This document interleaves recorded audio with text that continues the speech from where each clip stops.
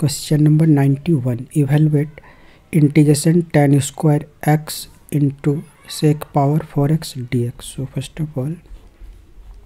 let I equal to integration tan square x into sec power four x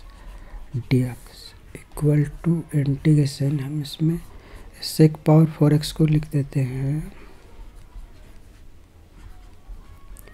Sec square x into sec square x और फिर इस sec को change करते हैं tan के term में।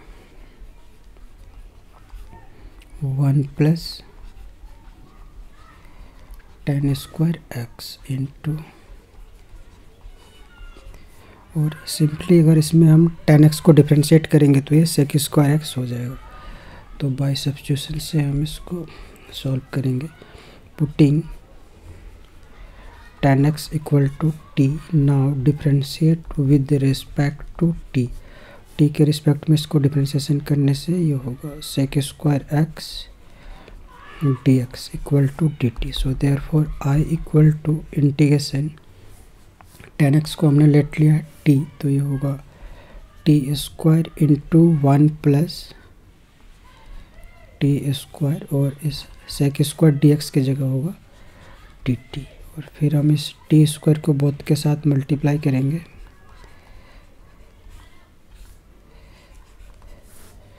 Equal to integration t square d t plus integration t power four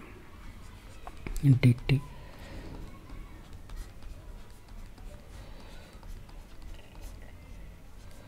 plus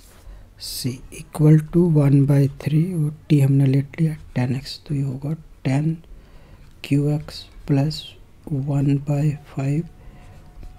tan power five x answer